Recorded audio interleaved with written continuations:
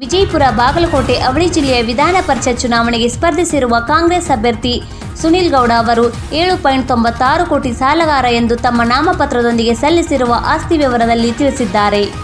ಅಲ್ಲದೆ ಇವರ ಪತ್ನಿ ರೇಣುಕಾ ಸುನಿಲ್ ಗೌಡ ಅವರೂ ಸಹ ಒಂದು ಒಂದು ಕೋಟಿ ಎಂಬತ್ನಾಲ್ಕು ಲಕ್ಷ ಎಪ್ಪತ್ತೆಂಟು ಸಾವಿರದ ಆರುನೂರ ಅರವತ್ತೈದು ಮೊತ್ತದ ಸಾಲಗಾರರಾಗಿದ್ದಾರೆ. ಬೈಕ್ ಶೋರೂಮ್ ಮಾಲೀಕರಾಗಿದ್ದರೂ ಸಹ ಸ್ವಂತ ಬಳಕೆಗೆ ಕಾರು, ಬೈಕ್ ಸೇರಿದಂತೆ ಯಾವುದೇ ವಾಹನವಿಲ್ಲ ಎಂದು ಘೋಷಿಸಿಕೊಂಡಿದ್ದಾರೆ.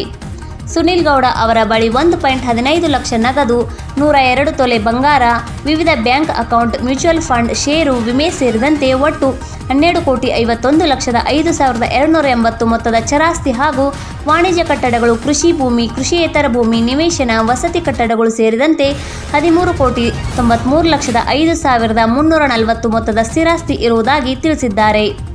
ಪತ್ನಿ ರೇಣುಕಾ ಅವರ ಬಳಿ ಒಂದು ಲಕ್ಷ ನಗದು ನೂರ ಮೂವತ್ತು ತೊಲೆ ಬಂಗಾರದ ಆಭರಣ, ವಿವಿಧ bank account, mutual fund, share, ವಿಮೆ ಸೇರಿದಂತೆ ಒಟ್ಟು ಎರಡು ಕೋಟಿ ಹದಿನೆಂಟು ಲಕ್ಷದ ಹದಿನೈದು ಸಾವಿರದ ಒಂದೂರ ಎಂಬತ್ನಾಲ್ಕು ಮೊತ್ತದ ಚರಾಸ್ತಿ ಹಾಗೂ ವಾಣಿಜ್ಯ ಕಟ್ಟಡಗಳು, ಕೃಷಿ ಭೂಮಿ, ಕೃಷಿಯೇತರ ಭೂಮಿ, ನಿವೇಶನ, ವಸತಿ ಕಟ್ಟಡಗಳು ಸೇರಿದಂತೆ ಐದು ಲಕ್ಷ, ಐದು ಕೋಟಿದ ತೊಂಬತ್ತೊಂದು ಲಕ್ಷದ ಎಪ್ಪತ್ತು ಸಾವಿರದ ಐದುನೂರ ಐವತ್ತು ಮೊತ್ತದ ಸ್ಥಿರಾಸ್ತಿ ಇರುವುದಾಗಿ ತಿಳಿಸಿದ್ದಾರೆ.